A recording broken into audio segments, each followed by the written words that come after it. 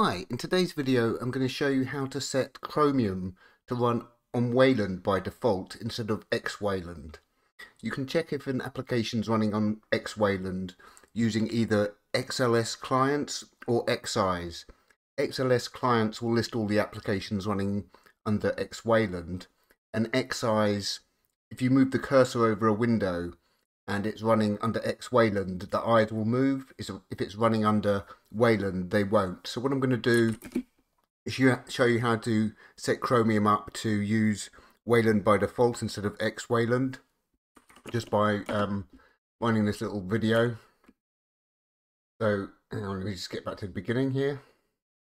Okay, so what I'm going to do here is run XLS clients, and this is going to list all the applications running under XWayland that are actually open. So as you can see in the video, uh, Chromium is open. So I'm going to run XLS clients.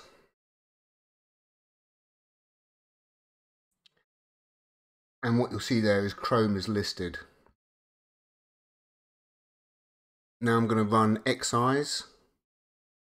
And as you can see, as I'm moving the cursor over both the terminal and Chromium, the eyes are moving and what that means is both of those applications are running under XWayland. So now what I'm going to do is open up chrome colon slash slash flags in Chromium.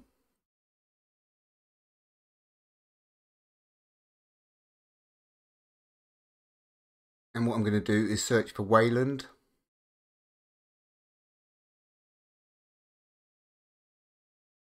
And what I'm going to do here is under um, preferred ozone platform, I'm going to change it from default to auto.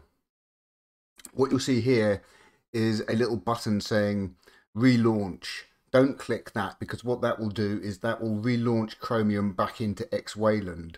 What you need to do is just close the window. So don't click the relaunch button, just close the window. So close the window restart Chromium.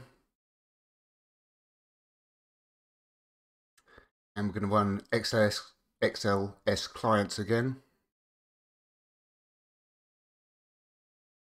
And you'll see that it's no longer listed. Chrome, Chrome is no longer listed. If I now run XEyes and move the uh, cursor, you'll see it moves over the terminal, but not over Chromium. So that's showing you that the terminal is running under XWayland, but Chromium is one is running natively as a Wayland application. So basically the steps, if I just come across to my notes here. So all you need to do is open Chromium and in the URL bar paste in the following URL which is chrome colon slash slash flags then search for Wayland and change ozone platform hint to auto. So the uh, by by default it's going to be set to default. What you want to do is change it to auto. There's an option to do um, Wayland as well, um, but I think I read somewhere that the um, preferred way of doing it is just to set it to auto. Then once you've done that, you'll see a big relaunch button at the bottom right of the screen. Don't click that button because that will just launch Chromium back into X um, Wayland. What you need to do is just close the window um, and then re reopen Chromium and it will be running under X Wayland. So that's all you need to do. It takes less than a minute.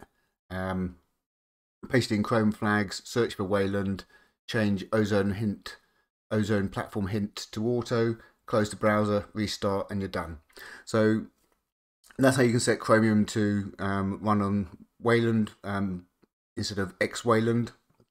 And this was done using, this demo was done using uh, Chromium running as a snap. I believe there is a chromium-flags.conf file, um, but I think that may only apply to Chromium on Arch Linux, but I'm not completely sure. But even if you, after you apply these changes and you do an upgrade, they'll persist. So using this method um, will actually persist in the browser even after an upgrade. So that's all for now and hope that helps.